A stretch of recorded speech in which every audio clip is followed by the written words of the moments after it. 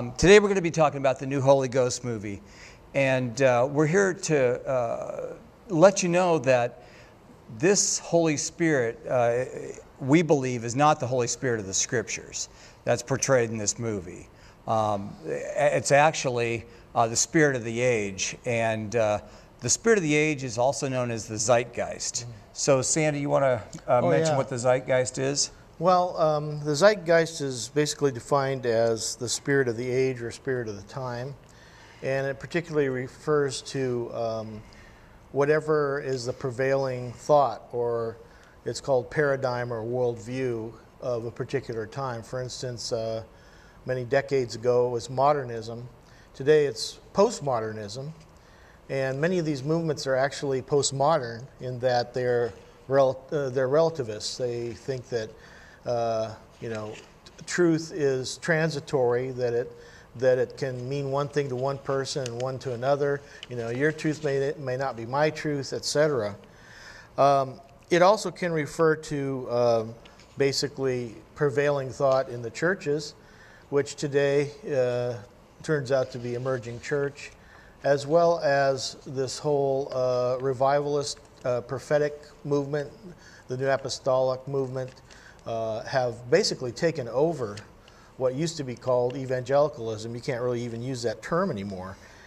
Um, there's another word, though, that is also used along with the zeitgeist, and it's called Weltgeist, which means world spirit, or, uh, you know, Ephesians 2 2 talks about the spirit of the power of the air that says, In which you used to live when you followed the ways of this world, and the ruler of the kingdom of the air, the Spirit who is now at work in those who are disobedient. Uh, many people are following this spirit. Uh, they all they all get together and um, they are very much empowered by this spirit. We saw this spirit at a globalist meeting uh, in a church downtown Honolulu, and um, everybody was really together on one page. And we're talking about supposed Christians, along with Shinto and uh, Buddhists, Hindus, etc. So uh, this can also has also invaded the church, the Weltgeist. 2 Corinthians 4 4 is an important verse. It says, The God of this age, who's the God of this age? Unfortunately, it's the devil, has blinded the minds of unbelievers so they cannot see the light of the gospel of the glory of God, who is the image of God unbelievers are blinded. They cannot they don't they can't see the truth. Unfortunately, however, the God of this age has also blinded many people who call themselves Christians. Whether or not they're truly born again is a question that's only for God to answer. But I think a lot of people have also wandered away from the faith.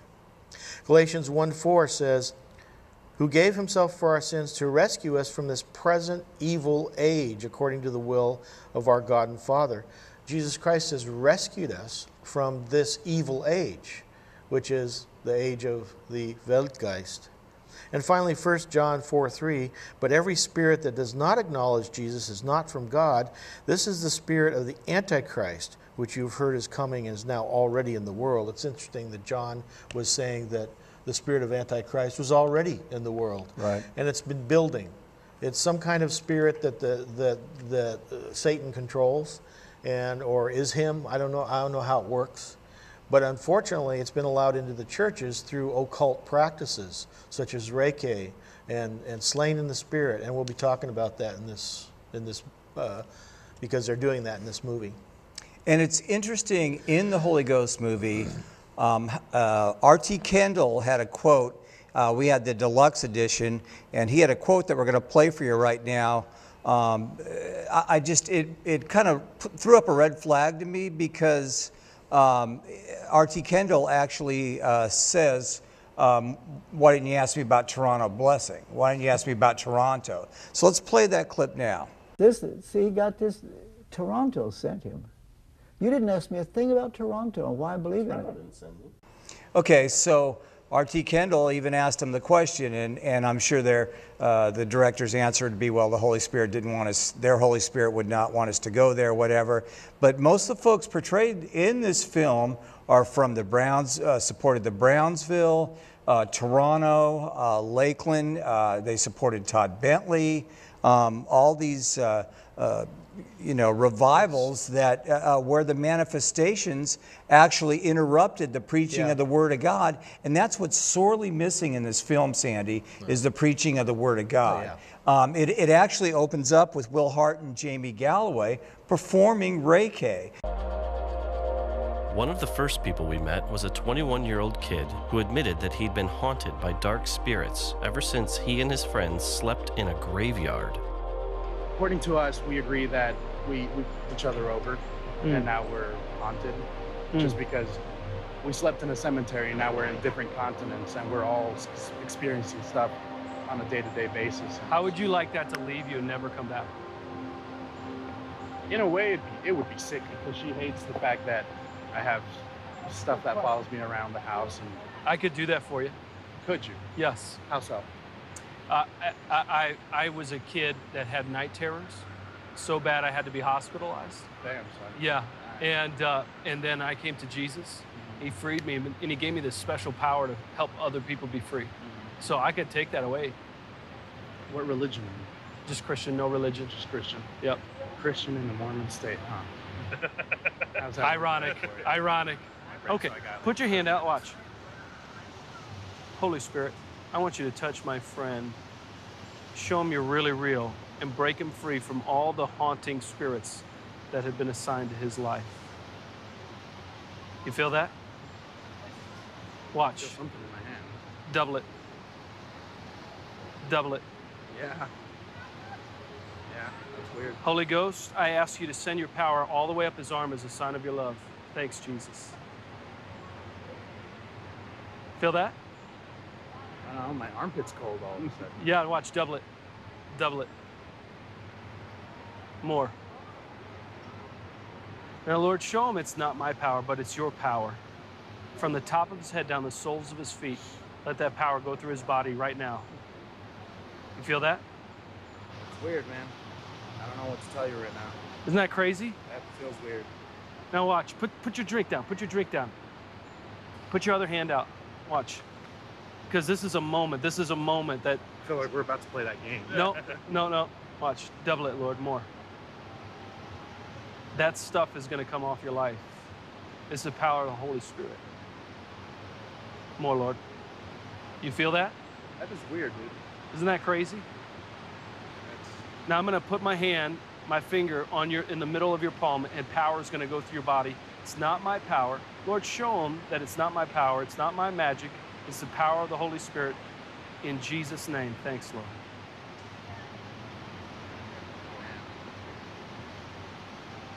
What do you think about that? I don't know what to tell you right now, dude. My, I feel weird. Yeah, watch. Double it so much you can barely No stand joke. up. My nipples got hard.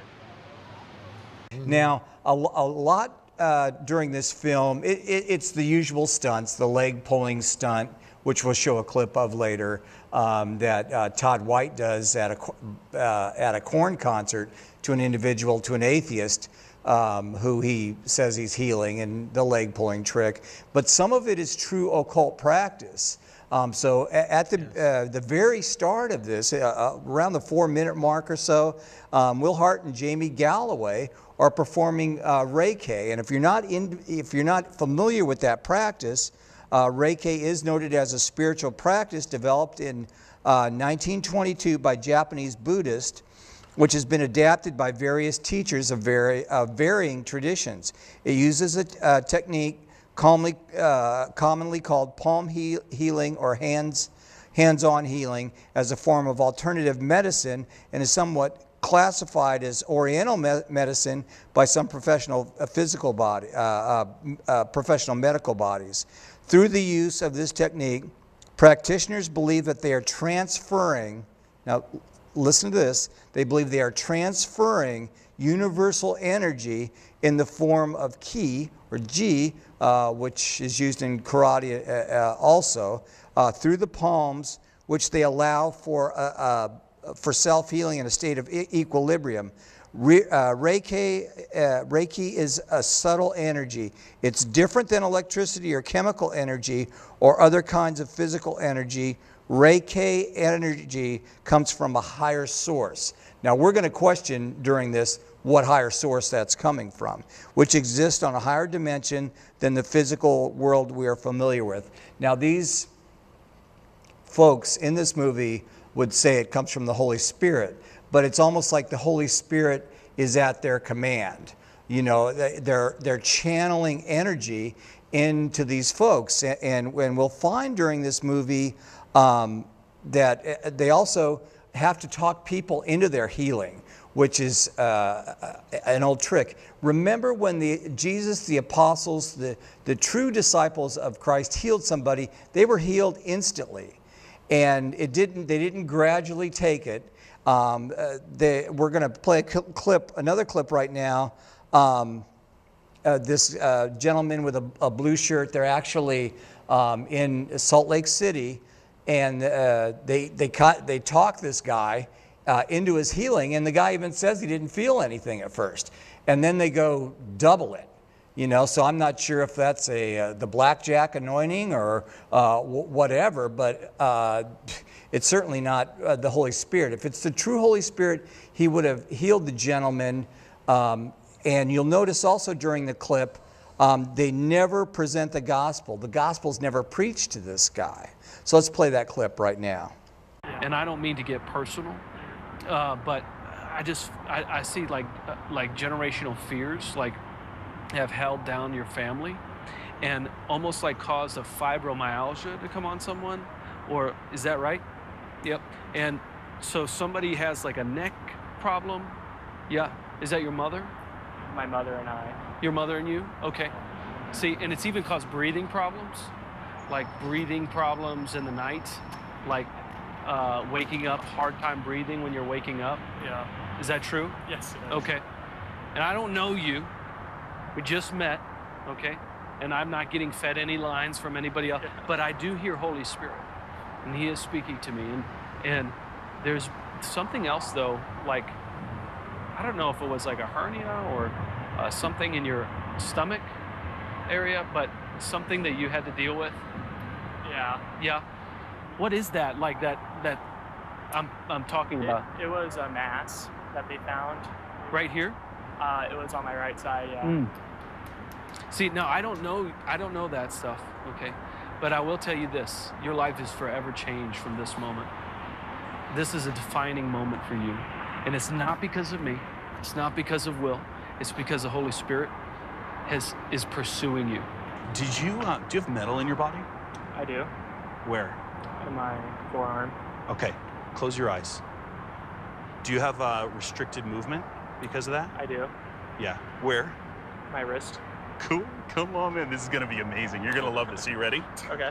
We're gonna walk. We're gonna we're gonna see movement. What's that? Yeah. What can what can you? How what's, what's That's my mobility right now. Just that. That's as far as it goes. Okay, you ready? Close your eyes, man. Alright. This is gonna be awesome. I got a lot of trust in you guys. Dude, don't worry. Like, it's gonna be amazing. I'm gonna ask the Holy Spirit to come, It's good. and I'm gonna pray, and we're gonna we're gonna see this thing. Are you ready? Okay. Close your eyes, man. Come, Holy Spirit.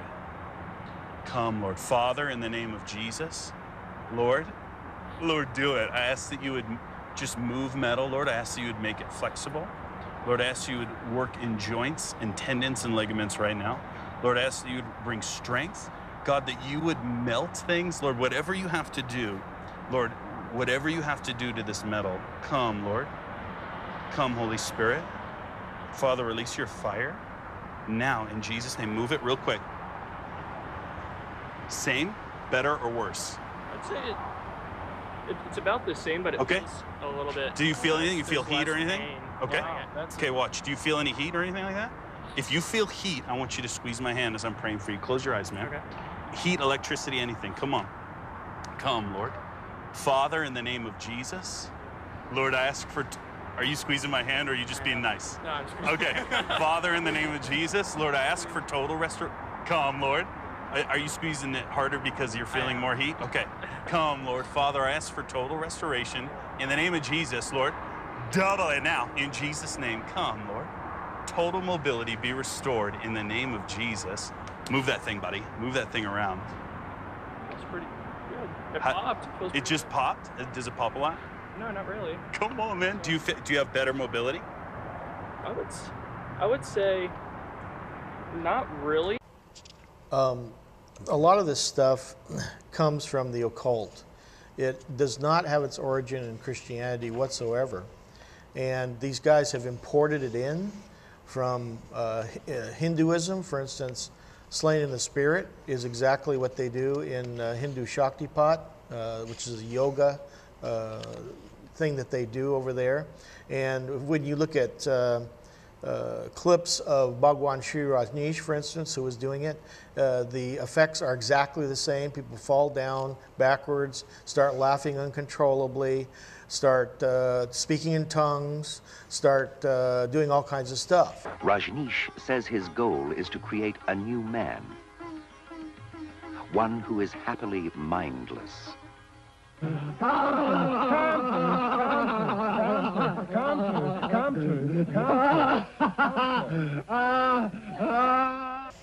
Um, this is what they're doing is not in evidence in the Bible, except for the fact that a lot of what happens is actually eh, in the Bible is called demonization. And so we've allowed demon, demonic spirits into the churches. This is not the Holy Spirit. The Holy Spirit does not force people to do things against their will, nor does, uh, nor can we command the Holy Spirit, you know, throw the Holy Spirit across the room or put the Holy Spirit into people. This is just absolute heresy. Um, and uh, another clip we're going to show you right now shows uh, this uh, uh, young man who's part of this group. I believe he was the lead singer from Sleeping Giant. Uh, it'll show it in the clip. Um, they're praying for a missionary um, who's out there preaching the gospel to the Mormons. Now, he's a cessationist, and we want to let you know we are not cessationists. We believe that there's true gifts still in functioning in the church today. We still believe in true signs and wonders, but we believe what they're showing you in this movie is lying signs and wonders. The thing that I want you to really notice on this clip is when they're praying for the missionary, and number one, I'd never let these guys put their hands on me. Uh, no way, no shape, no how. But when he, they're praying for the, ministry, uh, the, the, the missionary, um, the guy actually that's doing the praying says, Holy Spirit, I give you permission to come uh, into this missionary's uh, ministry.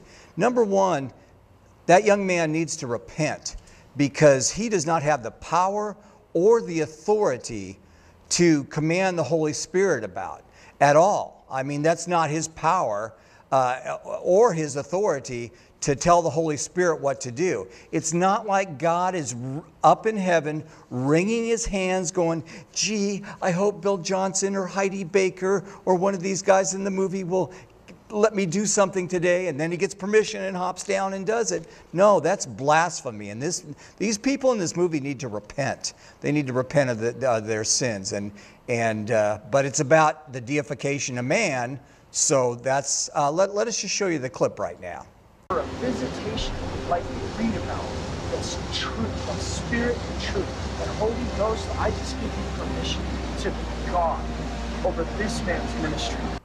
Yeah, it's, uh, it's a big problem today because this has all come in with Word of Faith and latter rain uh, um, theology. And uh, they really have no fear of God. They really think that they can tell God what to do. Word of Faith say, just name it and claim it. Just, you know, declare it into existence. Uh, you know, we've got Joel Osteen and all these people, you know, just think positive and say positive things. So it's all about controlling God. And actually, as you said, the idea behind it is that we're all little gods and we can, we can do exactly what God can do. These guys talk about legislating things from the heavenlies and all that kind of stuff. Um, this is absolute and utter, it has nothing to do with true biblical Christianity. And that's why we're warning people you need to stay away from people like that. Don't let them lay hands on you. Don't let them do things to you. Because uh, what they'll do is they'll try to slay you in the spirit and then prophesy over you and then put, set you down in some path that you never would have gone before. They've prophesied over so many people and said, Oh, you're, an, you're a prophet now, you're an apostle. And they go off on this wild goose chase from which they may never return. It's dangerous stuff. Right, and, and again, we do not recommend you you buy this movie or No. even uh, see the movie because uh, in doing our research for this, there were some very difficult It's times. It's creepy. Yeah. It's creepy. And and uh, not only is, is it creepy, but the if you it, uh, the one thing I noticed in this movie and in the deluxe edition is they totally contradict themselves. They'll say you need to test this, you know, with the Word of God. You know, uh, you need to test these things, but then uh, they go, that, well, Christians don't really know the Bible these days, so they need to go to these teachers. Um, and, and again, that's setting up that false sense of hierarchy and, and uh, you need to just listen to the teachers. No, you need to be good Bereans. You need to test the Spirit for yourself. You need to check and see if, if what they uh, say is true. Uh, Just like slain in the Spirit. The, when Jesus said, I am He, uh, it was his Jesus' enemies that fall that fell correct. backward. Um, any other time in the Bible where, where the Lord uh, appeared, they fell on their face forward. Yeah, and it wasn't because they were the God was pushing them down. Was because they fell because they were repentant or that they were overwhelmed by the sight of Jesus in John's case, from which they got the, the term slain in the spirit. It had nothing to do with what happened to John. So, you know, uh, God, it's the devil who overwhelms people. It's not it's not the Holy Spirit. The Holy Spirit works with our will. That's God created a will in us, and we can either choose to serve Him or not. But He doesn't force us to do things. And Right. that's what the devil does, because that's his only option. And they say many times in this movie that um, the Holy Spirit possesses them. The whole, that's not the way Oh, the that's Holy horrible. The, they, that's not the way the Holy Spirit No, works. He indwells a believer. And uh, you know that that's that's just not how it works. Uh, the Holy Spirit. The, the truth of the biblical truth is when we're born again, the Holy Spirit, the Bible says, comes in and indwells us. He makes a new spirit within us, a new man. Um, he baptizes us. That's when we're baptized in the Holy Spirit. Now, subsequently, He can indwell us. He can He can fill us and for service. And the Lord empowers us to do things for Him, and sometimes supernaturally things that we could never do. That's why we do believe in the gifts of the Spirit. But we, what we don't believe is that God empowers people who are teaching false doctrine, who are making false prophecies, false apostles, false Christs. He doesn't legitimize them with true signs and wonders. He would not validate their ministries. And you'll notice all through the Bible, God initiates at all times the supernatural experience. Peter wasn't uh, doing lectio divina or contemplative prayer when he went up on the roof and was thrown into a trance. God, in his sovereignty, always initiates the supernatural, uh, whatever God's the the one situation who's is. sovereign, and if you don't recognize that, if you think that somehow you have the right to tell him what to do, you know, the Bible says we can ask, seek, and knock. And it actually tells us that we should ask, seek, and knock. Uh, a lot of times you're, you're not getting what you need because you're not asking. But it doesn't say to declare, it doesn't say to, to speak words into God's ears and, and all the stuff that these guys use. It's, we're, we're not bossing God around. God's the boss. And often these guys think that they know better than God.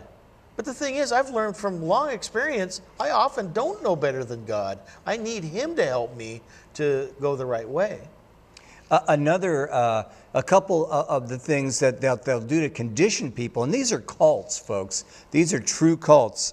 Uh, we're going to play a, a clip uh, by Heidi Baker, and uh, basically, a, a lot of their spiel is you need to be like a child. You need, to, and they, they kind of put a twist on having childlike faith. Being a child doesn't mean being naive and undiscerning. I had, and the my kids knew my voice right away. And I, but I had to teach them not to run out into traffic, right. not to put themselves into danger, and they could hear my voice. Well- and Jesus says that if, if you're His, you will hear His voice. You don't have to be trained to do that. I think that's a ploy. Yeah. Um, It to to uh, uh, make people, because uh, even with Dan Mohler, he'll go, uh, once we got past ignorance and fear. Th- th- what they're really talking about is once they got past discernment. Yeah. You know? Well, the problem is they've never taught these people anything to do with Christian maturity because the biblical de- definition of Christian maturity is that we learn to know what the difference between right and wrong. Think about it.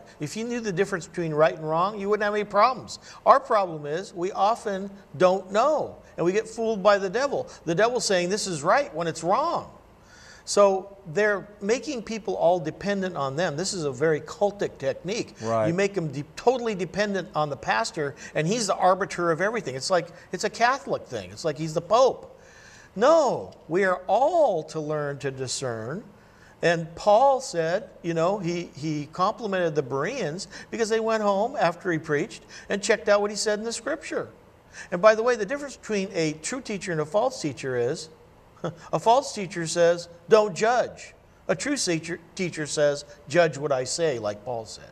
Right. And uh, to all our listeners, and everybody watching this, we want you to get in your Bibles and test to see if what we're saying is true. And if it's not, you will need to reject it. You know, but balance this against the Word of God. Um, well, we're going to play that clip from Heidi Baker now. And what the first clip is from the Holy Ghost movie and her, uh, what we just discussed. And the second clip is Heidi Baker putting a spirit into a young teenager. Now, the second clip, really watch this, and you judge whether this spirit that Heidi Baker is putting into this poor young man who writhes, who's writhing in pain. It, when I first saw this, it reminded me when Jesus and, uh, and his apostles came upon the guy who uh, the demons were named Legion in the graveyard uh, when he was breaking out of his shackles. This is the kind of spirit that they're putting into the, the guys. Uh, uh, that, that'll be on the second clip. I believe if Jesus and the apostles were, were here on earth and would have been in that meeting, they would have been casting the demons out of the young teenage man that Heidi Baker put into him. So let's go ahead and play that clip. Learning the language of Holy Spirit is like learning a language of this world. But now think about how you learn a language. The way you learn a language is you become childlike, you listen, you're not afraid to make mistakes. If you're arrogant and you're proud, you can't learn a language well because you're, you're too afraid to make a mistake. But if you're childlike and you're not afraid to humble yourself and become like a little child, you'll learn a language. It's the same kind of process learning Holy Spirit's language. And I see a very strange vision right now where I see crowns within crowns within crowns within crowns within crowns within crowns. And as soon as you take the crown off and place it on the child, I see like a pyramid of crowns upon the child's head. And they take the largest one off and place it on another, and there's another one there. And I see this, this, um, I, feel like there's this it's like a mountain of provision, of anointing. The more you give away, the more you will receive, says the Lord.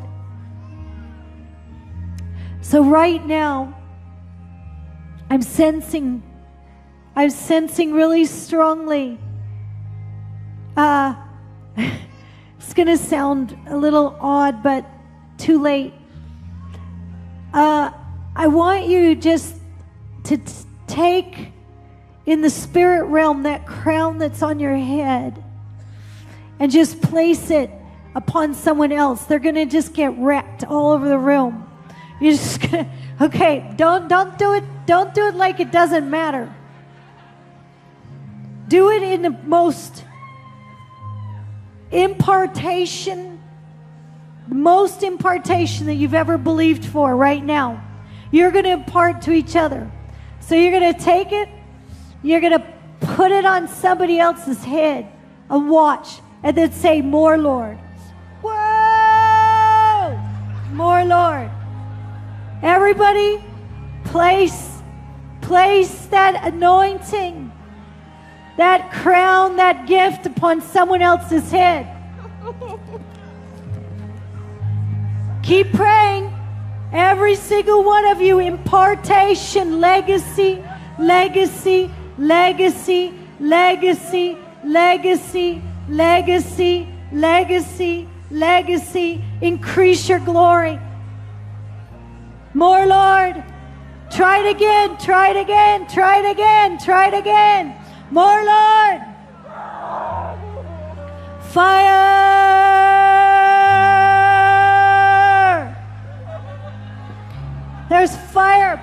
On their heads. Find somebody. I think he's got it. Shake up, Baba. Fire. Place it on another one's head. Fire. Shh. Legacy. Legacy. As the greatest thing you've ever seen in your life. Prophesy over them ten times. Start to prophesy over him ten times. I have seen where these guys are standing over people who are obviously demonized, and you, you, you mention to them, this guy's demonized. He's, he's crying out in pain. He, he needs help. And they're going, oh no, the Holy Spirit's all over that person. Well, what kind of a thing is that to say anyway? The Holy Spirit doesn't get all over someone and overwhelm them. The Holy Spirit empowers people to serve Him and, and do what's right. They don't get out of control because that's not a fruit of the Spirit. The fruit of the Spirit is self control. Right. They don't get uh, all chaotic, they get peaceful because the fruit of the Spirit is peace, etc. So test them, and one of the ways to test is by the fruit of the Spirit. Right, the, and the, as well as the whole drunk in the spirit, you need to drink this new wine. You'll notice that once this manifestation comes on people, they can no longer preach the word. And uh, yeah, I think it was, I believe it, mock it. Yeah, I believe Bill Johnson said that. Well, when the Lord gives you bread, uh, eat the bread. When He serves wine, drink the wine. But Peter at Pentecost distanced himself from they thought they were drunk at that point. And peter he was yeah, quite clear. he, was quite clear he that they were not drunk. These men are not drunk and they're speaking in real tongues and the people around them could understand what they were saying. And by the way when they were speaking in tongues they were preaching the gospel. Right. this is another problem. Which is you don't sorely missing in this movie. i mean that's part of the problem. It's not so we can babble and act like we're self-righteous. It's so that we can help people and I know people who have gotten the gift of tongues to be able to speak a language they don't speak. But these guys, no, it's all about showing off. It's all about being holier than thou. And that's very, very troubling. Well, and it's about, um, I, I heard a, a, a newscaster on a news channel uh, state when they were talking about Robin Williams and his death and all that. He said, uh, uh, people in America will watch uh, their entertainers, if something happened to them, they'll watch that around the clock for, for two days. And he said, Welcome to the United States of uh, entertainment, where people are more. Uh, uh, they they are more hip with emotion than they are with the facts. Exactly. You they know, just want to they be don't entertained. They want to have something shocking happen instead of actually delving into God's Word. But the interesting part is we've got the testimonies of two people in this series who came out of those churches. Right. And one of the problems was is all this monkey business that they do became rather boring because uh, there wasn't anything really being taught. There was no real help. You go away from the service going, "What did I get out of it?" And then when they heard Jacob Prasch and some other people, and they went, "Wow, real Bible teaching!" It, it was a shock to them. And so I feel sorry for a lot of these guys because they're, they're never going to hear real Bible teaching. They're never going to see a real sign or wonder. They're never going to really experience the gifts of the Spirit because they've given themselves over to lying spirits. Right, and they're taught in their cult that if, if a spirit within you is speaking against their anointed Oh, yeah. teacher, that you need to reject that. But what you need to know is that very, very well, and most likely is the true Holy Spirit who's trying to get you out of this nonsense, and they're trained to, to not touch their anointed teacher, but then uh, they, they will compare the, the unctions, the urgings of the Holy Spirit to a, a demon spirit, which Well, that's the problem. I. I've, I've seen it for myself. They have learned to mistake the voice of a demon for the voice of the Holy Spirit. They're actually rejecting the voice of the Holy Spirit when he's saying, hey, that, that person's, they don't have the Holy Spirit, they're demonized. You know, hey, that guy's not teaching what's right from the Bible. But then the other side, you know, you got the demon on one side and the angel on the other or something. But it's like the other voice is saying, oh, well, you know, that guy's, yeah, he makes some mistakes once in a while, but what he's teaching is basically good, you know, and, and all this kind of stuff. Oh, that's going to be, it's okay if he's writhing on the floor. He'll be all right. He'll be fine.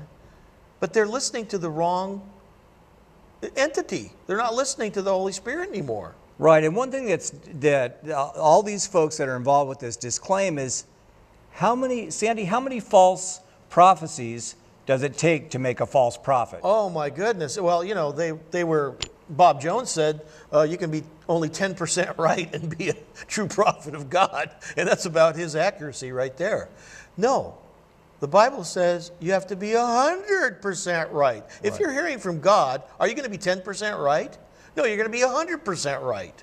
And so we test them, and if they fall down on one prophecy that they said, Thus saith the Lord, or I heard this from the Lord, they're a false prophet. That's how it was in the Bible, that's how it is today. Um, and uh, uh, also want to go into some of the techniques that are con artist te- techniques that are they've been using it since the tent revivals every and part of that is cold reading.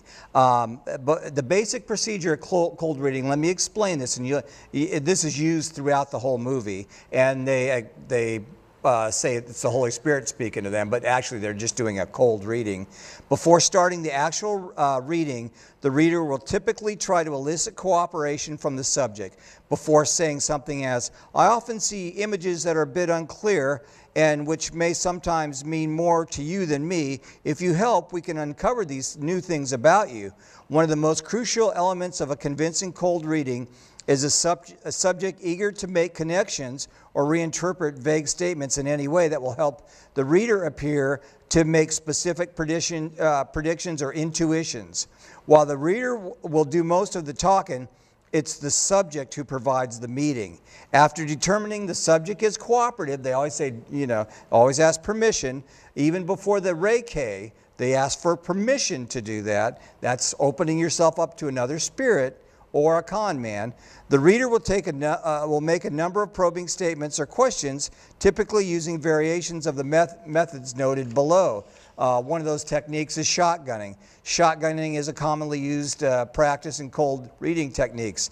Uh, the technique uh, is named after a shotgun because it, it shoots out a, a, a cluster of small projectiles in the hope that one, one of these strikes may be correct. Um, shotgunning a, a, a uh, representative of one of these vague statements will be I see a heart problem with a family figure in your family a father, a grandfather, an uncle, a cousin. I'm definitely seeing ch- chest pain here for a father figure in your family.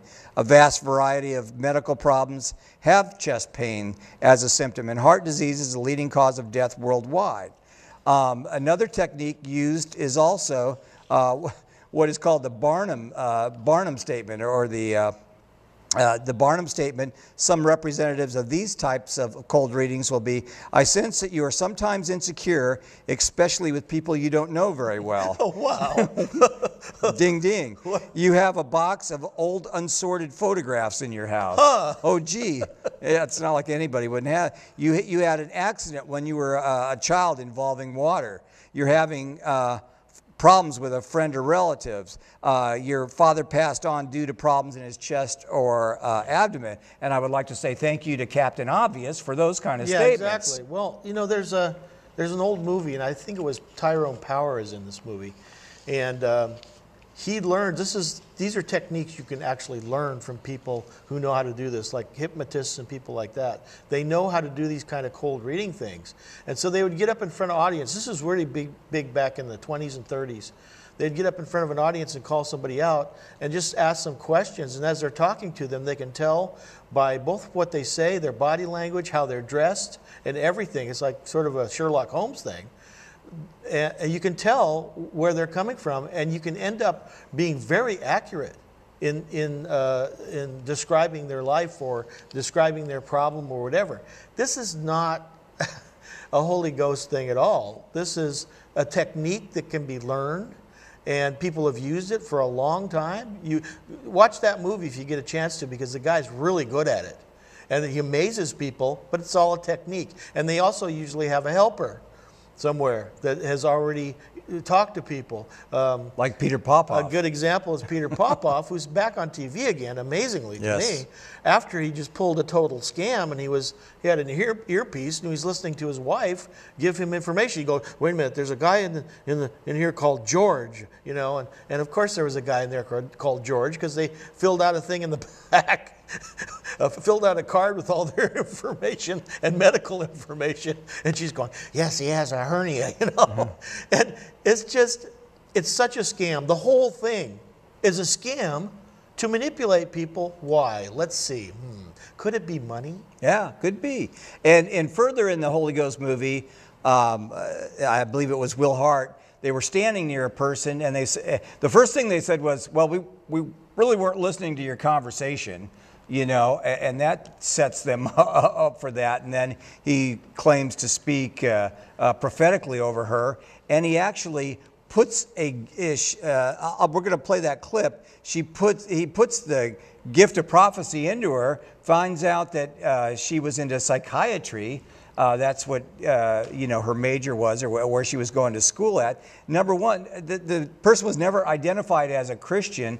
Number two, the Holy Spirit is the gift giver. We do not give gifts. We do not activate, impart. We don't shove those gifts into there. The Holy Spirit sovereignly activates spiritual gifts that will benefit the body of Christ. He knows what that person is going to be good for. And the, the last thing with cold reading, just to, to end that little, uh, this part of it, uh, well, let, uh, may, uh, let's first play that clip that shows Will Hart uh, with this young lady. All right. I'm just been I haven't been listening, but I'm, I'm with this guy. I just keep seeing as I as I look at you, I see like psychology, and I feel like there's something about psychology on your life, and I feel like you're going in really to study it. And I want you to know it's a gift. It's something that the Lord's really put on you. And I want you to know there's also a tie-in for. Um, I also felt like I saw South America, and I saw um, Africa. I saw those two places open up over you as well. So I feel like I feel like the Lord's really, really putting that on you. It's really good, but it's not just adults. I feel like there's something with little kids, psych- psychiatry, psychology. So it's going to be good for you, sweetie. I want you to go after it. Okay? Does it scare you? No. Okay. Good. Good. Are you studying? Yeah. Yeah. Yeah. For for for kiddos? Yep. Yeah. Yeah. It's okay. It's okay. Okay. I just want you to know, like, I, I'm just, I, like, I've been listening it, like, I've been just overhearing, but I want you to know something, like, the Lord just stopped me before you left to, like, run and specifically tell you that. And He's calling you, girl. He's calling you out. And I want you to know something, like, you're really going to affect lives. And there's a gift of writing on you as well. And it's not just, it's more than just, it's more than just studying something. There's books that are going to come out of you, and you're really going to shape and change. So I just want you to know, like, I just love it on you. I really, really, really do. It's a precious gift. I want you to know it's exactly where you're supposed to be. Oh, yeah. And then I just, I, this is gonna sound weird, but I saw, as soon as I looked at you, I saw Colorado open up over you. Really? Yeah. And I feel like there's something really tied into Colorado for you. I feel like there's a season. Uh, you're like a trainer. You like work with people, and and, and I and I see you like just encouraging coaching and training. So I love it. It's awesome. Can I can I like I studied. Um, I didn't study, but I work kind of in working with people and, and counseling people. Can I just pray for you really quick, and and just ask the Lord to increase that because I saw it on you? Yeah. Come on, give me your hand. Oh, okay. It's okay. Yeah. Okay. Can you can you hold this for a second? We just had lunch. I'm tired. Can I can I just take this? Yeah. I, I didn't even hear your name. Katie. Katie. Father, I just thank you for Katie. And Holy Spirit, I ask that you would release such a gift on her, Lord, that she would speak to hearts, God. Come, Lord. Come, Holy Spirit. And Father, I ask now in Jesus' name, Lord, would you release a spirit of wisdom, a spirit of discernment?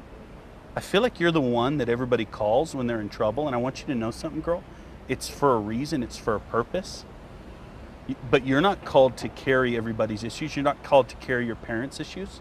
You're not called to carry everyone's issues. You're called to minister to them through it. And, and I want you to know, girl, like, sure. Thank you, Lord. Father, I thank you, Lord, that you're releasing a great spirit of counsel on this one. And Holy Spirit, Lord, as she ministers to people, would hearts be touched and would lives be changed. In Jesus' name. In Jesus' name. Amen. Bless you, girl. Okay. Come Do you know how I knew that? Do you know how I knew that? Like, you know, I'm not just like, like just shotgunning things off. Do you know how I knew that? Yeah. Does he like talk to you that way? Do you want him to? No, I'm serious. Like we're not like I'm not out here like I know we got cameras and stuff like that, but like I was like a drug addict. Like I was a I was a 17 year old drug addict, and the Holy Spirit fell on me, and like changed me. And the Lord started to speak to me. And I started to move in that stuff that night. And uh, and I can pray for you, man, if you want to flow in it, if you want to. And then like I'm, we're not looking for anything. We're gonna walk away. We'll probably never see you again. But if you want to, I can pray for you. I want to ask the Lord put that gift that He puts on me for the prophetic and on you. Do you want to move in it? Because you're a dreamer, right? You dream a lot. You wake up constantly, and you're a dreamer. Yeah. Yeah. And so you have it. You actually carry it, and it can be a burden. Like I feel like you take on parents, and like you take on that role, and like that that like things that you shouldn't take on. But I want you. But but we can get rid of that. Like we can just get rid of that heaviness.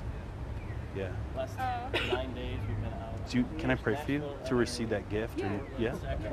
Awesome. Cool. You're like so. You're so sweet. Let me see this cup. Oh. Yeah. Roxbury. Yeah. Okay. Okay. So listen, I'm gonna just be honest. You're gonna feel something when I pray for you. Okay. You might feel a little heat. You might feel a little electricity. Oh, Okay. It's gonna be okay though. Okay. So if you do, I want you to just squeeze my hand. Okay. Okay. You hear me? Uh-huh. Just close your eyes real quick. Close your eyes. I'm not gonna do anything. I'm just gonna pray. Oh, man, just, well, you should check out my, my new movie. It just came out. Father, I thank you for this one. So, sure. Yeah, you- Father, I thank you for this one. And Holy Spirit, would you fall on her? Holy Spirit, would you come and fill her up, God? Lord, I ask you would release the gift of discernment. And Lord, I just break off any heaviness that would try to come against her. In Jesus' name, and Lord, I pray, Lord, any prophetic gifting, would you release it and pour it out over this one? In Jesus' name, Lord, I ask for ears to hear and eyes to see. In the name of Jesus. In the name of Jesus. Amen. Did you feel anything when I was praying for you? No? Yeah. a little What did you feel? Um. I had mission served Just there, or I calm. had friends Yeah. I, I just, I keep seeing Africa on you, girl. I feel like there's going to be a trip there. Have you ever been? No, but I really want to. Yeah. I, I felt like it was like like southern, almost South Africa. Yeah. Yeah. Is that where you want to go? Yeah. Yeah. Uh, Durban's going to be very, very, very key for you because I feel like there's something about like the coast. Like it's something like you're drawn to the coast, and and it's going to be very, very important for you there. So yeah, come on, girl. Yes. It's going to be good. Okay. Yeah. Yeah. Do you have any questions? No, you're just like. I think you pretty much answered all my questions. yeah. Yeah. You have no questions at all. Yeah. It's awesome. and do you know Jesus? Do you like? Yeah. Have you ever had an encounter with him like that, where he's just spoken to you? Not yeah. really. I like. Well, I'm sure, like, I was a drug addict, and my parents like grew up in the church, so I kind of grew around it, so I like experienced it. But man, what brought me in was an encounter like this. Yeah. And that's what because I knew it was real after an encounter like that. So I, I would just give yourself over to it, girl. You got it. You carry it. You're really sweet. I really love it. Oh, thanks. Bless you. Last uh, thing in cold reading is the rainbow ruse, and this is a gem. Uh, the rainbow ruse is a crafted statement which simultaneous, simultaneously awards the subject with a specific personality trait as well as the opposite of that trait. With such a phrase, a cold reader can cover all possibilities and appear to have make an accurate deduction in the mind of the subject, despite the fact that a rainbow ruse uh, statement is vague and contradictory. And you'll notice this all through the Holy Ghost movie. Uh, this technique is used since personality traits are not quantifiable um, and, and also um, become nearly everybody has experienced both sides of a particular emotion. Some statements of this type might be, uh, most of the time you're positive and cheerful, but there's been a time in the past when you were very upset. oh my goodness What a gracious me. revelation. you are a very kind and considerate person.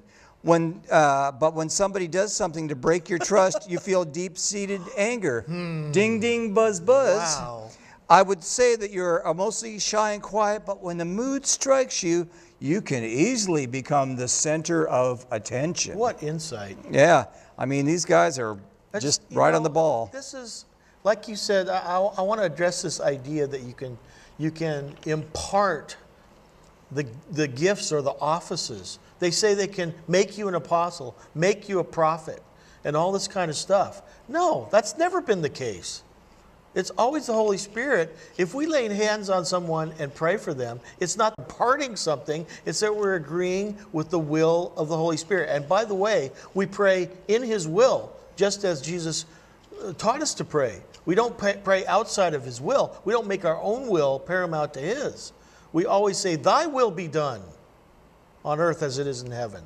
But this, this is something that happened to me when I was going to a church. I think I told this already, but you know, a guy came up to me and after the church service and he wanted to lay hands on me. I said no because I'd already had bad experiences with that.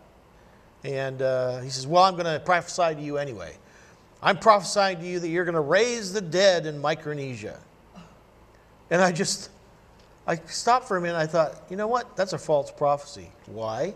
Because he's like puffing me up. Why do, would I need to know that I'm going to raise somebody from the dead ahead of time? All that's going to do is puff me up and make me think, ooh, I'm really something. I'm special. I'm special to the Lord. So what they that's what they do. They use this stuff to puff people up, puff up their pride. And who is that? That's not the Holy Spirit. That's the devil doing that.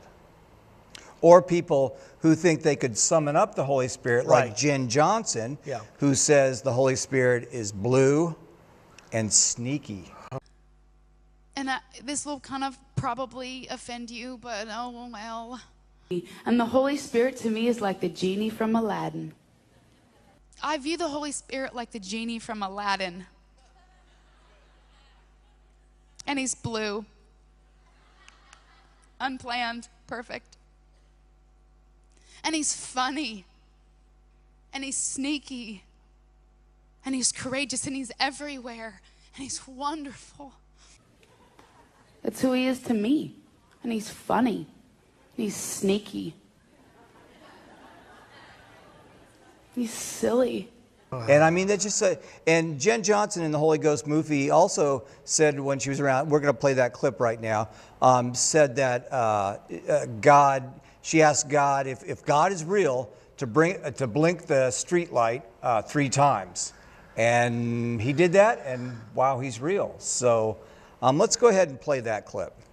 And I just, you know, kind of told God, God, if you're real, you know, make those street lights blink three times, you know, like classic, like the fleece before the Lord or whatever. And um, the streetlight blinked three times. I thought they're all by myself, and I remember the ball just dropping out of my hand. I ran into my mom, like, Mom, you know. She was like, Yeah, God is real. Okay, well, you decide for yourself after that, watching that, and the Holy Spirit is blue like her jeans, and he's sneaky and he's funny. Um, you judge for yourself on that one. I just one. find that to be a very blasphemous statement from her. She has no fear of God. Very shallow. She doesn't understand that, yes, God loves us and He sent His Son to die for us, but He's also the judge, ultimate judge. And, the, and words like that are going to be judged. And you know, you know what? The, one of the disturbing things was at the Korn concert. And I get it that we need to take our light into darkness, but we don't party with the darkness. We still don't um, uh, partner with works of darkness. Uh, the Bible's very clear about that.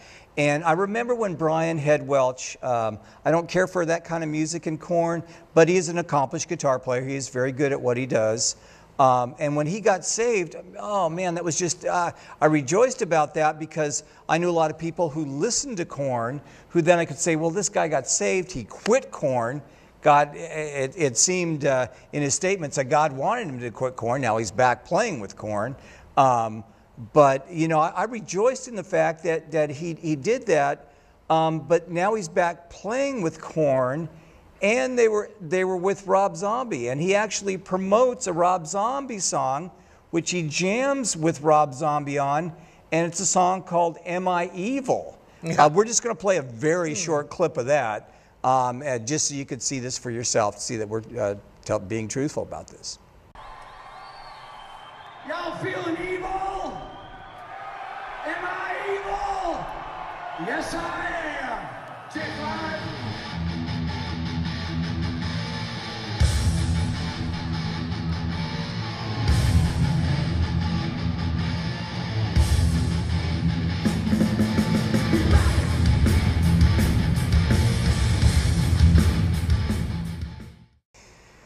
Anyway, uh, again, judge for yourself on that. Um, uh, during, the, uh, they did somewhat present the gospel when they were out there in the meet. Uh, it wasn't a meet and greet, but they were. They came out with Todd White, and now we're going to show um, uh, that Todd White, again, he's this clip we're going to show from Todd White. He's guessing at what's wrong with the guy. First, he ta- says thinks it's the guy's shoulder, but he got that wrong. But then he goes to the back, and then, as you'll see, uh, Todd sets him up to a, a ruse that was used by A.A. Allen, uh, W.V. Grant, I believe, did it. The leg All pulling them, thing, yeah. where they they lengthen the leg. Uh, uh, let's play that little tricky clip right now. anything that gives you any trouble with one of your shoulders. No, physically, are you healthy completely? Is there any problems at all physically? Uh, my back isn't the best. I just Okay. had We call him broke back Joe. Did you really? Yeah. Did you break the bottom? The bottom of Brokeback Joe. No way. Okay. Broke back Joe. So you got to see this, dude. Come here. I'm going to show you something. Come here. Okay, sit right there. Sit. Yep, sit. And then sit back some. Put your butt back on this. Like sit back on the stage. Like sit back a little bit more. Come up here. Okay. So bless you, man. All right. So which side of your back hurts the worst? Uh, this side, yeah. Okay. All right. So how long ago did you break? Oh, a couple years ago. Okay. So you got pain. A little bit. Does it go down your leg? Oh, yeah. Okay. All right. So take your pants and hike them up a little bit. All right. So I'm gonna put your legs together. All right. All right. So when when you look at you already went to, you've gone to chiropractors and doctors and all that. Yeah, they tell your legs. everything, They yeah. tell your legs shorter. You're one leg shorter than the other one, and it throws you back out. Okay. So regardless of, like, well, yeah, no matter what, like, you take your toes and so bring your heels together. That's why it's Brokeback Joe. No, but look, you can see your feet. Do you see your feet? Yeah. Just let it, I'll hold them. Just relax. I got you. Don't try to hold them up. So, Relax, bud. okay. So if you see this leg, it's longer than the other one. And because of with back injuries and stuff, a lot of times it throws your legs out. Okay. So what I'll do, regardless of what you believe, I'm going to pray for you. And Jesus is going to grow your leg out and heal your back. You don't even have to believe, dude. So you get into the, the weirdest place of belief that you want. You can unbelieve as much as you want. And God's going to grow your leg out and heal your back. I promise, man. Okay. Okay? So, because regardless of where someone's heart is, his love for you is bigger. Like I know because I got shot at, I was that guy. You know what I mean? Okay. So, Father, I thank you in Jesus' name. Left leg, I command you grow right now. Jesus' name. Look at it. See it? Whoa. Look at that. You guys see that right there? Yes. It's longer now than the other one. That's nuts. So, Father, I thank you for a brand new back, God. I thank you that it's not about religion, it's about Jesus. Um, so again, you decide for yourself. Um, a- and, you know, I, I, I really pray for Brian Head Welch. He got in with the wrong crowd immediately. Uh, I believe he went to the Welton Academy, which is a school of, to me, it's a school of sorcery and magic. But there are people be definitely disagree with me uh, uh, about that. But um, I don't believe it's of the Lord. It's those supernatural schools. And you know what? I really believe no, I'm sure of it. Bill Johnson and all you folks out there with your schools of the supernatural, you need to repent of that, especially what you're doing to children and, and to young people. And you need to shut your schools down right now. That's what really bothers me, you and I both, most of all, is the way they go after children and teenagers and, and college kids. They, they travel around to college campuses and fool them. There's a college campus right up there by Bethel, and a lot of those kids have gone over to that, to that church, and they've ended up really messed up. I got a letter from a guy, uh, email from a guy the other day, and he's coming down on me for having a discernment website. He says, What are you doing for the Lord? You're not doing anything for the Lord. I raise people from the dead every day. And I had to write back to him and say, Hey, bro, you're a nut job. Stop saying that kind of stuff. It's not, you know it's not true. Like, where's the proof of that? I don't see the proof. Where is it in the newspaper? Where, where has anybody come forward and said, Yeah, that's what happened to me? But I actually know stories from Bethel where they didn't raise the dead. And they had told all these kids, oh, you know, that they could raise the dead, and then, oops, somebody died. So, and the, th- and the way they manipulate these little kids, they just manipulate them. And they put ideas in their head that are not from the Lord. And this next clip we're going to show you is a representative of that, of the children's director. Um, I'm not sure if she's still a director at Bethel, but this is the kind of stuff that they put the kids through. Uh, we're going to show that clip right now. This was not, by the way, uh, on the Holy Ghost movie. This is a separate clip, uh, just so you know. But this is how they're training uh, children up. We heard this testimony of, of, of friends were visiting each other and they overheard their two, three, and four year old little girls playing Raise the Dead. Now, three year old, you lay on the ground and you be dead first.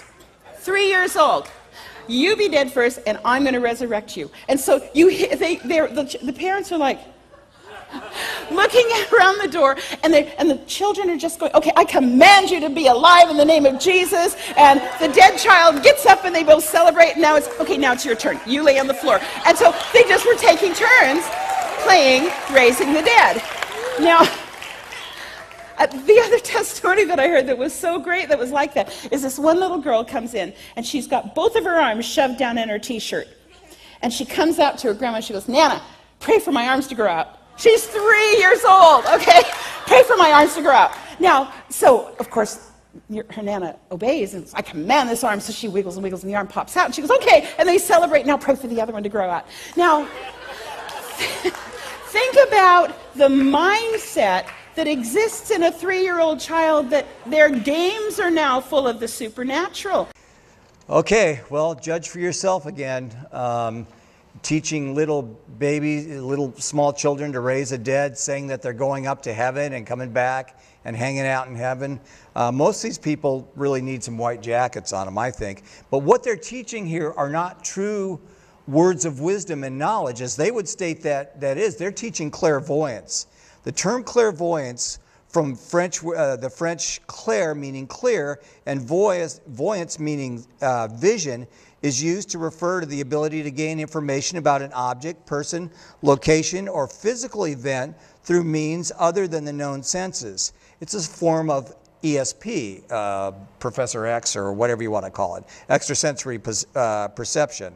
A person said to have the ability of clairvoyance is uh, referred to as a clairvoyant, one who see, sees clearly. But God, God's word warns us against that in Isaiah 8:19. When someone tells you to consult mediums and spiritists, which is what are these folks are in the Holy Ghost movie, who whisper and mutter, should not a people inquire of their God? Why consult the dead on behalf of the living? Deuteronomy 12, 30 further uh, states and warns Take heed to thyself that thou art not snared by following them after they are destroyed from before thee, and that thou inquire not after their God, saying, How did these nations serve their God? Even so, let us do likewise. See, they, they've confused the gifts of the Spirit with things that are solical. Um, there's some kind of ability for humans to actually have some clairvoyance in ESP. They've tested it out. Um, and they can, they can do certain things. Um, there's obviously the ability of the enemy to, to give people information. And that's what a medium is and, and all that kind of stuff. Because the demons have been around They've for been a long, long know, time and they, they know, know the things events. about people. Yeah. They know stuff. But the thing is, is none of that has to do with the gifts of the Spirit because the difference is, is that God is actually telling you what's actually happening and what's real. That's what he tells his prophets. And by the way, personal prophecy, it's not in the Bible. Yeah, there were prophets who went to the kings, but it was an issue that had to do with all of Israel. Same thing today, all the church. They don't give people personal readings. That's what they're doing. That's what a psychic does. They're doing psychic readings for people. And that's a solical practice, even sometimes a demonic practice. It's not from the Holy Spirit. Right, and, and but but the, we we also understand that the Holy Spirit does give us intuitions that That's we need correct. to put it on our heart to pray for somebody, Right. Or perhaps share a verse of That's right. scripture that will give comfort Right. to something they're going through But we're not we like manipulating people. We're not like, you know, trying to get them over to, to some weird teaching, or we're not like brainwashing them with ideas. He'll put us on our heart to pray, or he'll, or he'll warn us this is not right. But if the Holy Spirit warns you this is not right, you don't just go with that. You don't, you don't just end there. You go back to your Bible. And that's how the Holy Spirit will teach you what's wrong with it. That's where people often stop. They go, you know, there was something kind of weird about that meeting, but I don't know what it was. I was like, go to your Bible and find out. Test the spirits. Ask the Lord for wisdom because the Lord will give you wisdom to, to, to know, to be able to find out what's going on. But don't just stop with the intuition of the Holy Spirit. That's a good thing. But the Holy Spirit wants to be your teacher, and the way He teaches you is not through the air, not through some antenna, it's through God's holy word, which is eternal. Um, uh, uh, a quote from back to Brian Welch at Cornyn. Uh, Brian, if, if you see this, I would beg you to repent and uh, uh, just get away from these folks that you've been involved in. And I, I, promise I, I, will pray for you. I, I, hope you're taken away from the folks who I believe have given you some real evil influences, and, and it would be such a remarkable testimony to get away from these people. Uh, but Brian Welch went on to say when Jesus walked the earth, he was attached to two realms the earthly realm and the heavenly realms. My goal is the same. I can be banging my head at Korn concerts all over the world and be connected with God in spirit at the same time. I used to detach from this world all the time and party with drugs. Now I must, I must I just detach myself from this world and I party with God and all my peeps, no matter what they believe. And he, he's, no matter what they believe, that's a key statement uh, that Brian said. Drugs take you into the spiritual world illegally, spiritually speaking. No. Jesus tra- takes you into the spiritual world legally. It's not it's the John Crowder and that Toking the Ghost and all that garbage. Drugs are a solical thing. They affect your mind, they affect, they affect your body. They are not spiritual things at all. And I found that out because I did plenty of them when I was younger. And I did LSD and I did all that stuff. And uh, I got actually afraid at one point because I had demons starting to show up. And so I've had experience with the demonic realm, and I know what it is. And that's why, if you're in, ever in one of these meetings and they try to slay you in the spirit or do something to you, you need to be praying, Lord, if this, if this is not from you, I do not want it. Because that's what I prayed. And the guy, one of the main guys from Brownsville, tried to slay me many times in the spirit when I was in a meeting before I knew about this stuff. And uh, uh, they were not able to. And I was very thankful to the Lord later that, that He protected me. Because I prayed, Lord, I've had I've had instances of demonism in my life already, and I don't want that. I believe in you, I, I belong to you. And so, anybody that has prayed that prayer, literally, I've talked to a lot of people, did not get slain in the spirit. That ought to tell you something. The, the people at, at the William Branham Crusades in Germany, there were groups of people at two of their crusades, and they prayed, Lord, if this is not from you, if this healing is not from you, then we ask that you prevent this from happening. And William Branham came out on the stage and said, My angel isn't here tonight, so I can't heal anybody. That'll tell you something. When true believers pray, then the Lord protects them. And I, I very much counsel you to pray those prayers. There's nothing wrong with praying that prayer. That's not being judgmental. It's not, uh, you know, not touching the Lord's anointed. It's between you and the Lord to say, Lord, I love you. I don't want any other spirit in my life. Try it. And I think you'll find out what happens. Right. And if you have a leader who's cautioning you not to do what they will Sandy, what already, Sandy just said, I would be singing Feet don't fail me now. Ben, Benny Hinn and Rodney Howard-Browne did that long ago. And Brownsville would do it regularly. They would say, whatever you do, don't pray while you're trying to be slain in the spirit. Yeah. Don't pray. Empty your mind. Yeah. Leave your mind at the door. That's what they said. And you, I found that to be the number one really bad thing because they're trying to prevent you from actually having a conversation with the Lord and asking Him to help you. They don't want that. And I don't know if they know that and they're, and they're willfully deceiving people or they're just deceived. I don't know which. Only God knows that. But I'll tell you, man, you need to pray. And about being in the world, let's look at what Scripture talks about. Uh, when we read uh, of the world in the New Testament, we are we, uh, reading the, the Greek word cosmos. Cosmos most often refers to the inhabited earth and the people who live on the earth, which functions apart from God. Satan is the ruler of this cosmos. Look at John 12 31. John 16 11 1. I mean, uh, John 16 11. 1 John 5 19. By the simple definition that the word world refers to a world system ruled by Satan, we can more readily appreciate Christ's claims that believers are no longer of this wor- of the world. Right. We are no longer ruled by sin, nor are we carnal, nor are we bound by the principles of the world.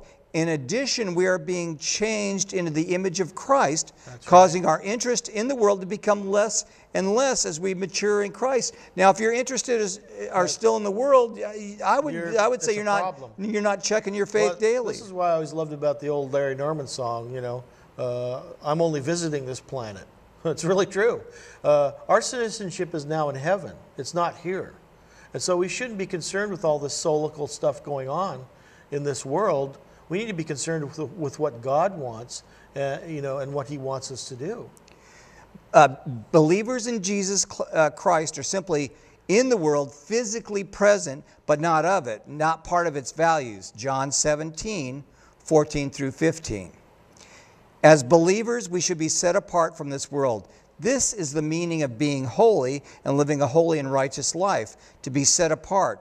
We are not to engage in the sinful activities the world promotes, nor are we to retain the insipid, corrupt mind that the world uh, creates. Rather, we are to conform ourselves and our minds as to that of Jesus Christ. Romans 12, 1 through 2. Well, that's the problem with so many churches today. They've become worldly.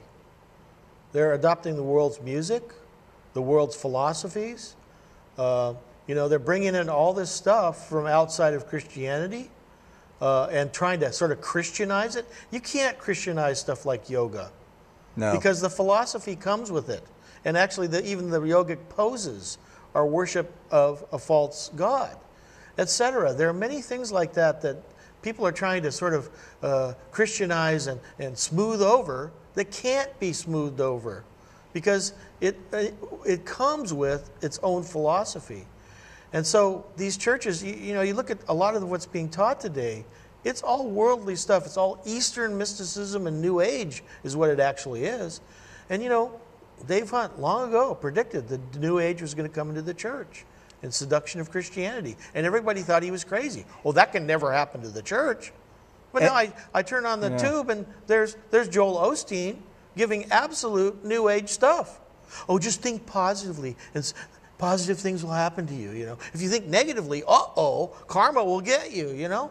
That's basically what, what they're teaching. And, and uh, I think they're being pretty bold about it because people are accepting it. They love through, it. through people like Oprah Winfrey. Uh, Bill Johnson uh, is, is very plain about accepting uh, New Age practices Yeah, in his says, book know, with uh, God. they're taking over what, what Satan stole from God. No, they're taking over what Satan is doing and what he's been doing all along. It's not the way God works at all. So they've been confused. They've been fooled.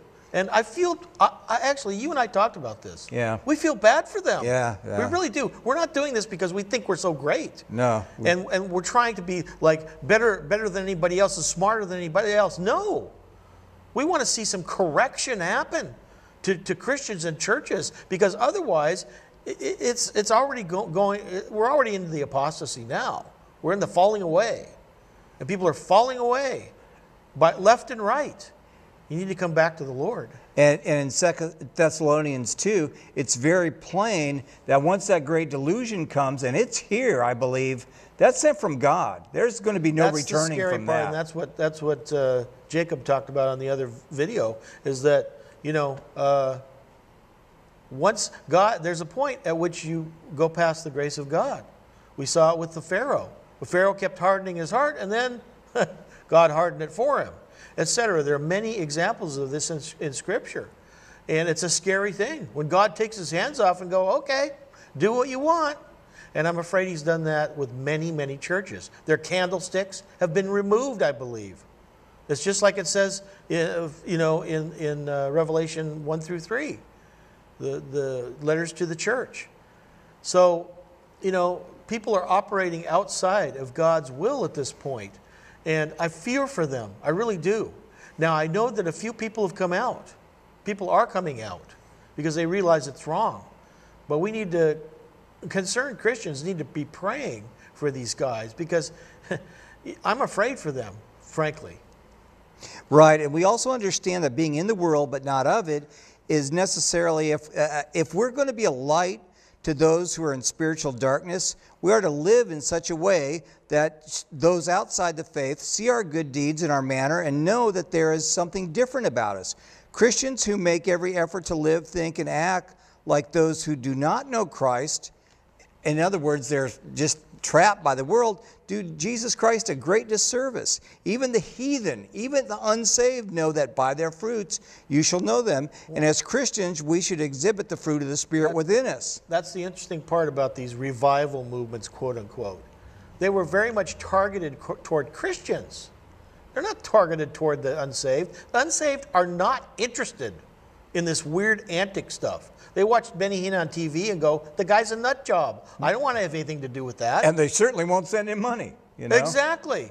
And it's funny because they end up having more discernment than Christians do. But this stuff is always targeted toward Christians. When Brownsville came to Guam, they had all the missionaries and pastors put on name tags. Why was that? So that they could help minister? No. It was so that they could identify who they were so they could slay them in the spirit. And it was all these people coming to get slain in the spirit. They, there was a bar, uh, you know, about 15 feet away, and they never even invited anybody to come in to hear the gospel. And they didn't actually really preach the gospel. They preached part of it, and that's another thing that bothers me. They use things from the Bible and the gospel to lure people in.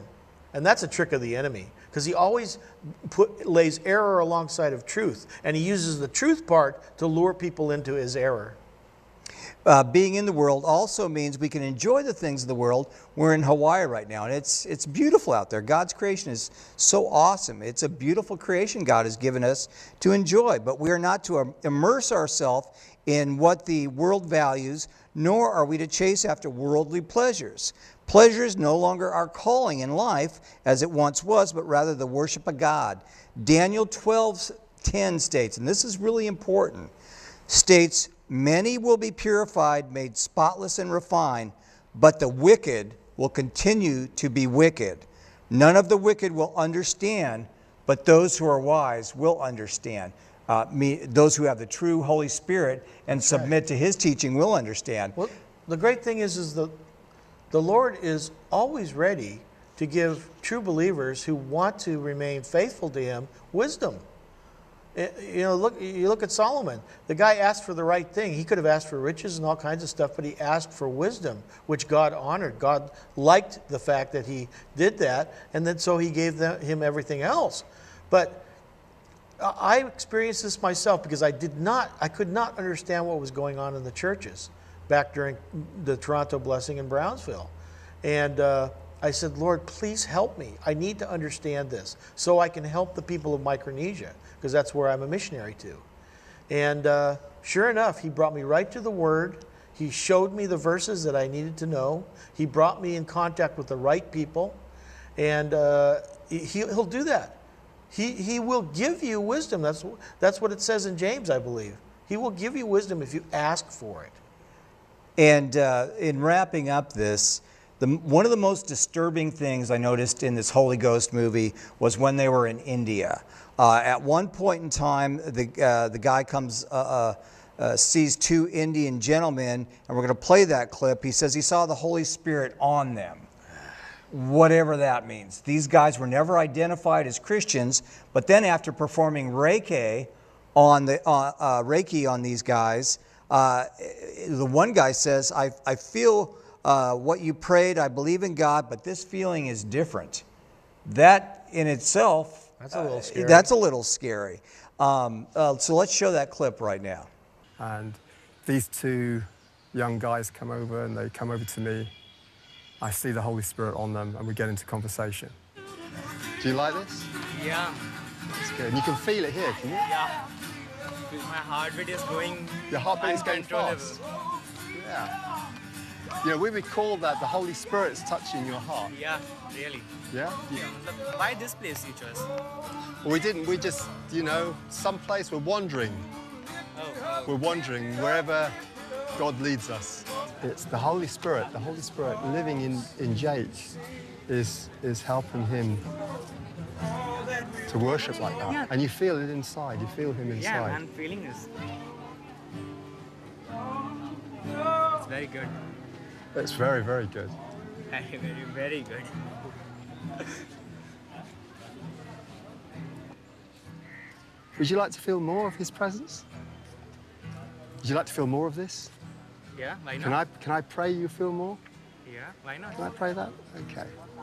So what- what's your name again? It's My name is Sagar. Saga. S A G A R. Saga. Saga. Can I put my hand on your shoulder, Saga? Yeah, Would that why be okay? not? Okay. And put my hand in your chest. I'm going to ask. I'm going to ask for more of the presence of God as Jake worships, that you'll feel His presence. Yeah. Okay. Okay. So Father, thank you for Saga. Father, I just invite your presence. Thank you, Father, that you love Saga so much. You love him with all your heart, God. And this is the joy that you want to bring to Saga, your presence. And for him to know that you love him and that you care for him. So come, Holy Spirit. Just and ask for an increase of more of your presence, more of your goodness. And would you just fill him from the top of his head right through to the soles of his feet? In every area of his life, would you just overflow him? Lord, his heart is bursting with your presence. I would just ask for more of your presence. I'm feeling that. You feel that? Yeah, I'm feeling that. More, more, God. More, God. Come, Holy Spirit, more, God. Fill him, Lord. Just give him a taste of your joy and your love and your presence. My body is trembling. Yeah. Your knees shaking? Yeah, I can see that. That's the presence of the Holy Spirit on your on your body, son. Yeah, that's why. Yeah, more. Thank you, Lord. Now, now from the innermost being, from his innermost being, would you just fill him? My heartbeats are telling that uh, his presence here. Yeah, you feel him. Yeah. Would you like to experience as well? Come. What's your name? Yeah. Your joy touches heart, I feel like what you pray for me. You can feel that? There's more. There's more for you. That's my heart. Will- Feeling will go feeling over control. Over control and I feel that what you pray. You all are very different. Huh? You all are very different. We're all different. Yeah. Have you ever experienced that before? You've not experienced. Have you not experienced that? You haven't experienced this before. Yeah. Yeah. Well, I believe in God. Very, I know. very much I believe in God. But this feeling is different. Um, Kurt Koch, who was a researcher in the occult and wrote a number of books, uh, followed people like William Branham and, and uh, Kathryn Kuhlman, and he actually called them what they were, which is spiritists. But he catalogs that when William Branham went to India for a crusade, that he met this guy who was, I think, was a guru, and uh, William Branham ended up calling him the Son of God returned. Ooh. So this has been going on for a long time, kind of recognizing the same spirit in other people.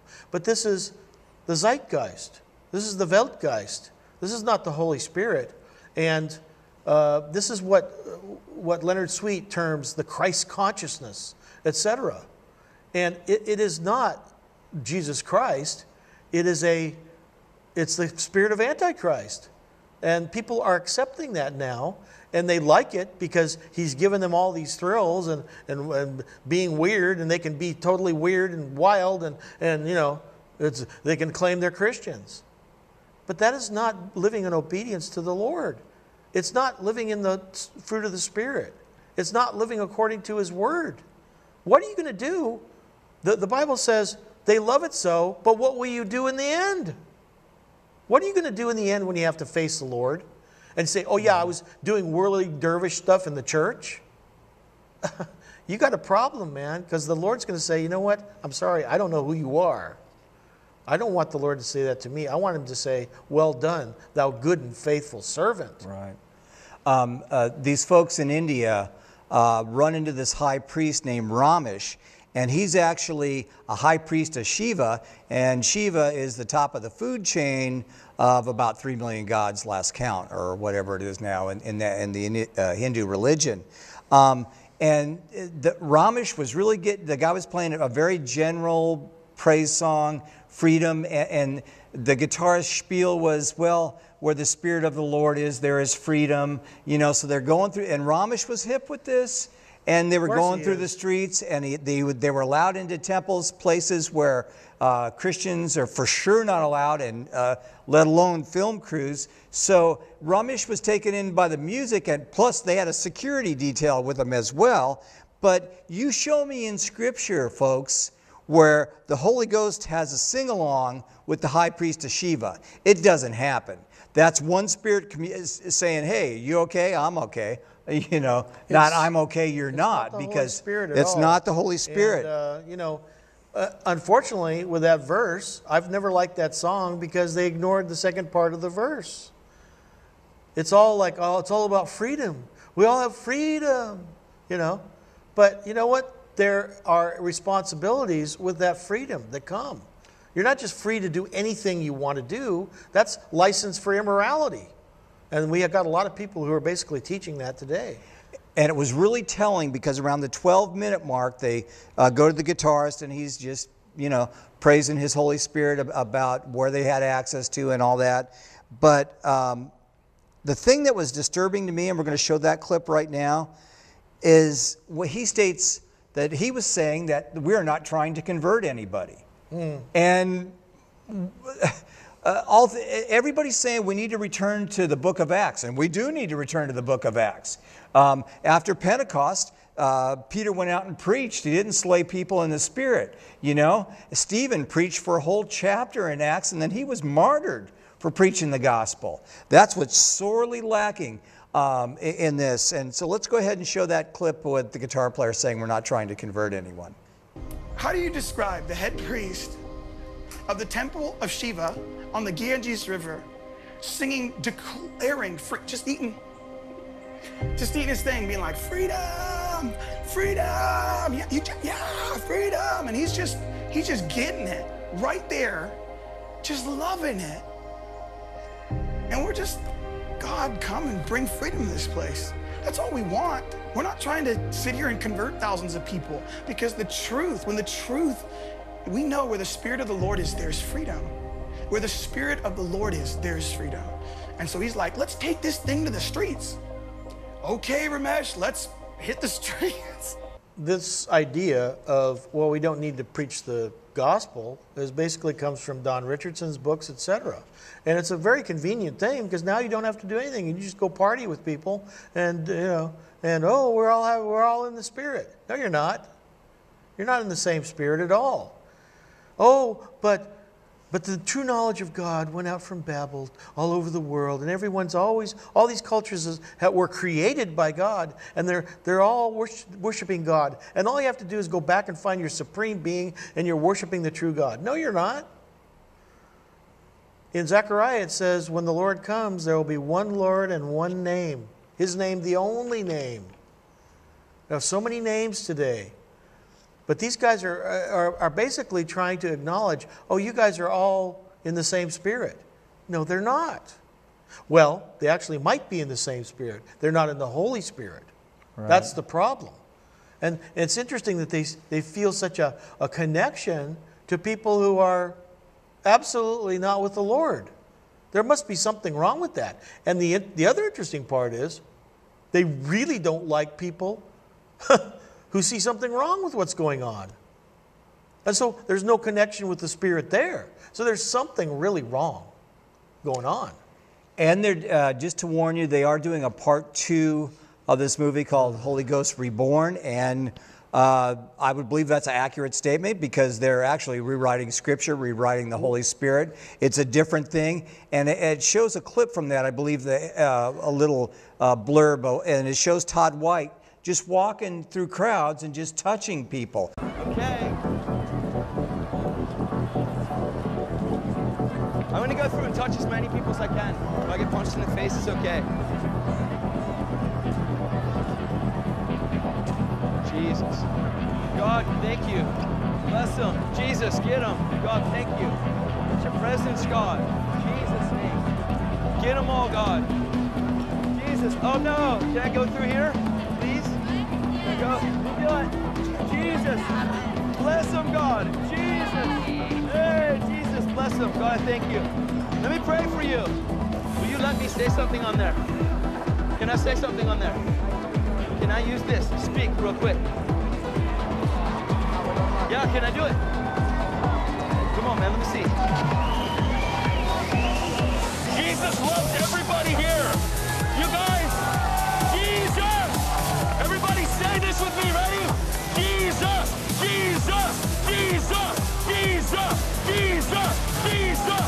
Jesus!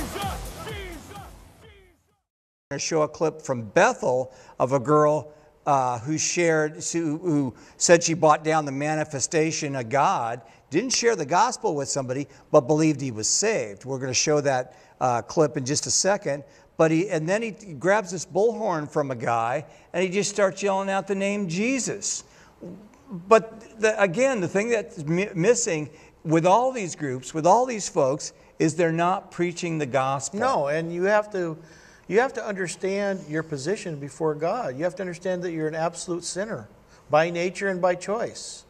And that you are on your way to judgment. And there's no way for you to get to God. There's no way for you to have a relationship with God unless you come through His Son.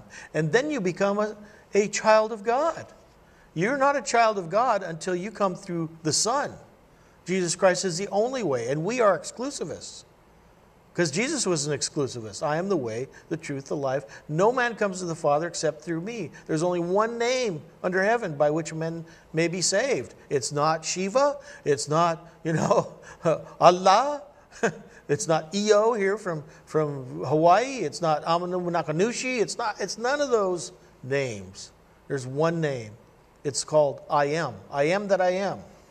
And Jesus and Jesus Christ, Yeshua. So we have to understand that there, there's other stuff going on today that is much more new age, has much more to do with the new age than it has to do with Christianity.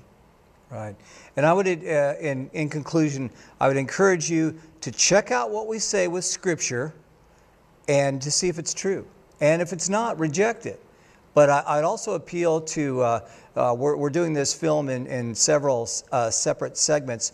Watch Johanna Michaelsen's testimony that we had filmed uh, on an earlier film that we had filmed. Uh, it was uh, concerning the emergent church Yes. hitting into the Nazarene denomination, which it's pretty much taken over in there. But um, Johanna's testimony, she was a, a saved Christian and she got involved with this. So I'm begging you, people that are Bethel followers and, and those that are mixed up in this, watch Johanna Michaelsen's testimony on this.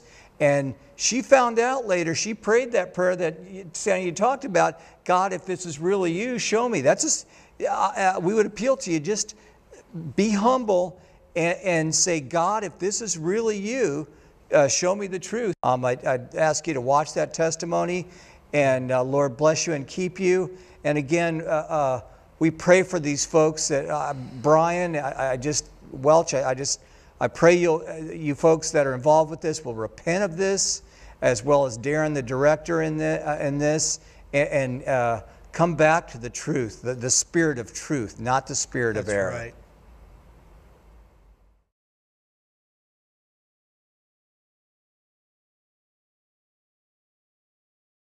One of the most like ridiculous, like spooky church story I have from the hospital is that I was taking care of a man who was unconscious and he was dying, and I had no way of communicating with him. I didn't know if he was saved. I didn't know anything really, and I was in the room and his heart rate just started to drop really fast, and I was just like, Jesus, I don't even know if he knows you. Like, what what do I do in this situation? And I just heard him say, if you forgive his sins, he'll be forgiven. and I'm like, am I allowed to do this? I don't really know about this. But so I just started to intercede for him and just release God's presence over him. Just tell him, like, your sins have been forgiven. The Father is going to just meet you today. You can enter into God's kingdom tonight. And, and within a few minutes, he passed away. And I'm like, you know what? This is amazing. I can't believe I have the the I don't know, it's just God has put you in places where He gives you so much responsibility and so much authority to carry out what He wants to do. It's like you never know who you're going to meet in the last second of their life to bring people into God's kingdom.